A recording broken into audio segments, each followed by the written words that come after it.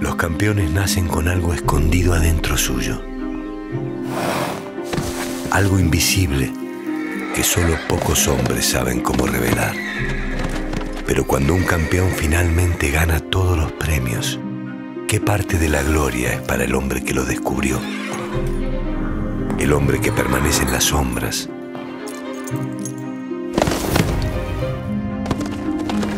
El hombre con la habilidad de ver campeones donde otros no.